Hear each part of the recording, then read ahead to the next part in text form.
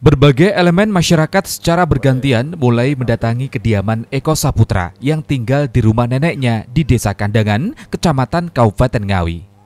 Bahkan Wakil Bupati Ngawi Dwi Rianto Jatmiko juga ikut mengecek kondisi bocah 10 tahun yang sebelumnya sempat diikat kakinya pada tiang kayu dengan tujuan agar tidak keluar rumah yang dapat membahayakannya. Pemerintah daerah akan mengintervensi masalah kesehatan Eko Saputra agar segera mendapatkan terapi khusus.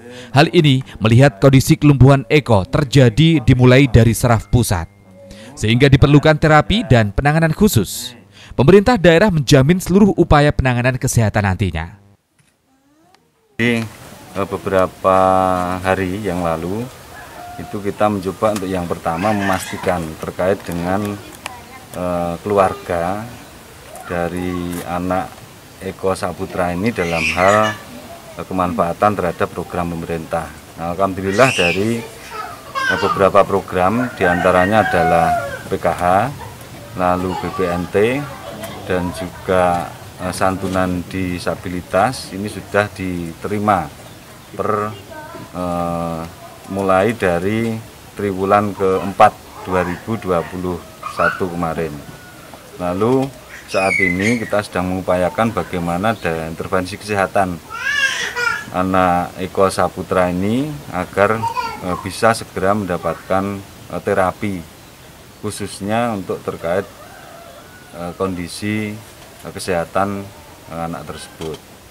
Nah, dari pemerintah provinsi dan pemerintah kabupaten akan bersinergi termasuk bagaimana mengintervensi terkait dengan hunian Contohnya lantai yang akan segera kita intervensi agar lantai tersebut layak sehat untuk menjadi tempat uh, hunian. Jadi beberapa yang harus yang secara cepat akan kita laksanakan untuk uh, khusus mengintervensi anak Eko Saputra ini. Di sisi lain, Pemkap juga akan membantu terhadap hunian rumah terutama pada bagian lantai yang masih tanah sehingga akan dilakukan perbaikan agar layak menjadi bersih dan sehat untuk dijadikan hunian. Itu Wahyu, CTV, Ngawi.